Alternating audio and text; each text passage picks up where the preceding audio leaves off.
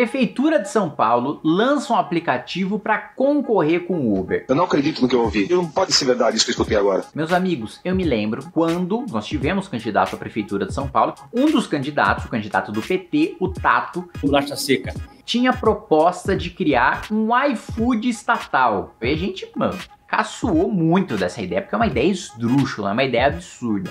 Agora, o atual prefeito de São Paulo decide lançar um Uber estatal. É o Mobizap, Mobizap São Paulo. Vamos lá, né? Primeiro do absurdo de você achar que um aplicativo estatal vai colocar mais concorrência no mercado, vai melhorar a situação dos clientes e vai melhorar a situação dos motoristas, né? Isso é falso. Esquece ideologia. Esquece que eu sou um liberal.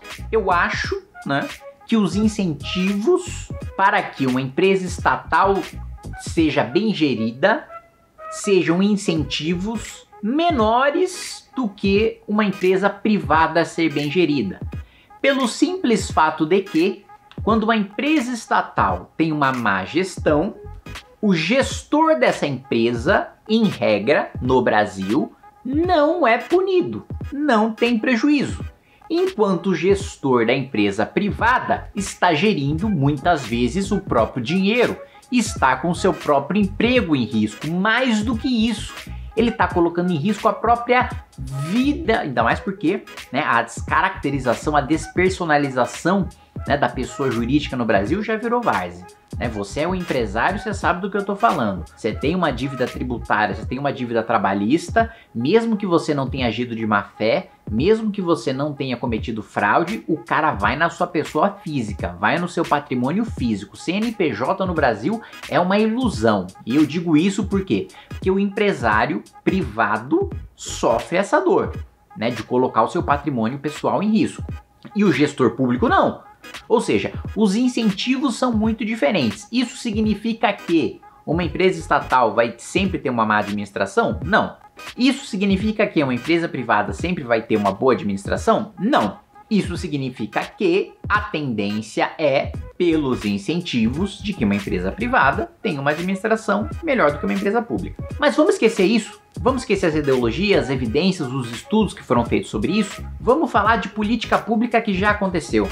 Ah, quem vai pegar de outro país, vai pegar de outra cidade? Não, não, não, não. Vamos pegar de São Paulo? Vamos pegar a cidade de São Paulo? Nós já tivemos uma iniciativa fracassada na cidade de São Paulo quando nós, MBL, lutamos para que o Uber tivesse o direito de seus trabalhadores trabalharem na cidade de São Paulo. E não só na Câmara Municipal de São Paulo, mas ao redor do país e no Congresso Nacional, nós lutamos para que a Uber entrasse no Brasil o que revolucionou completamente o mercado de transporte individual, não só no Brasil, mas no mundo inteiro. A prefeitura de São Paulo, ela já lançou um aplicativo próprio de transporte individual em 2018. O prefeito era o João Dória, no ápice da discussão sobre Uber e táxi. E ele anunciou o SP Táxi, que até hoje não teve a adesão esperada. Ou seja, até hoje você não tem nem o número de usuários, nem o número de motoristas que viabilize essa iniciativa estatal da Prefeitura de São Paulo. Ainda assim, o sujeito, o prefeito, insiste nesse modelo.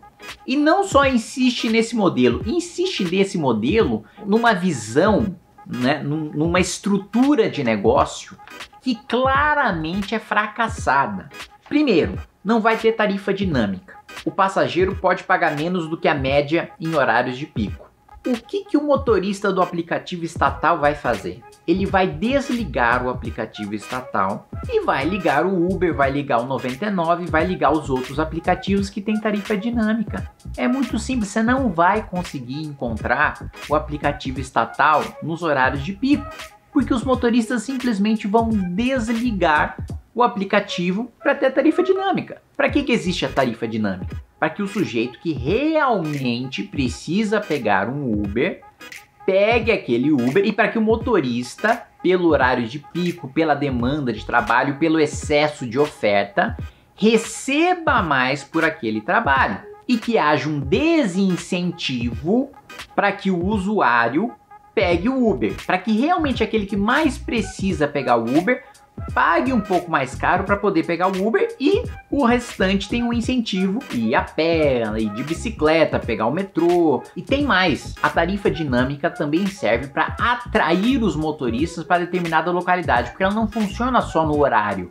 Ela atrai os motoristas para onde tem uma oferta muito grande de gente pedindo Uber, para que aquelas pessoas sejam atendidas naquela localidade. Então tem mais uma utilidade ainda. E aí, um dos grandes alardes da Prefeitura de São Paulo é de que vai ter um foco na segurança né, dos motoristas e dos passageiros, instituindo um botão de pânico no aplicativo. Parabéns, Prefeitura de São Paulo, vocês acabaram de fazer o que todas as empresas já fazem há anos. Vocês só incluíram um botão de pânico, as outras empresas já têm um sistema de avaliação de passageiros, já tem um sistema de avaliação e de reconhecimento facial e de verificação de documento tanto do passageiro como também do motorista. E para além disso a possibilidade de se acionar a polícia de maneira digital sem precisar ter um botão para isso, né, via aplicativo. E para além disso a possibilidade de você gravar ou mesmo às vezes já grava até automaticamente né, os áudios daquela conversa para caso haja algum caso de assédio moral, de assédio sexual e por aí vai.